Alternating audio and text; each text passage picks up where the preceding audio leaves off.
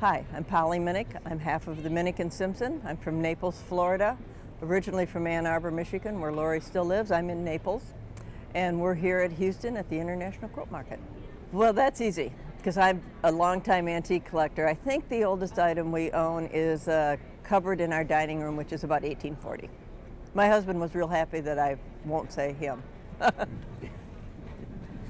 well, this year, better than last year had you asked, this year we're trying to be very healthy. So you would find fresh fruits, fresh vegetables, eggs, um, white wine.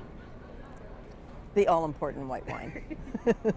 That's easy because living in Naples, we're often under hurricane watch, and my husband and I have talked about this, and we both agree it wouldn't be each other. We're on our own. It would both, we'd grab our dog, Annie. Annie, our Airedale.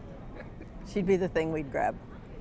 The decorating style I have is something I've always had since we were first married, and it's pretty much what you see in Minick and Simpson. It's kind of American country. It's Americana. And we've been very fortunate to have that our niche in um, Moda, and I think that's why we've been successful because we are doing something we love, which is what people often ask me, how do you get into this business? How do you how did you get to work at Moda? My advice is find a company that will has an opening for something you love. If you can't love it and push it, it's probably not going to be successful.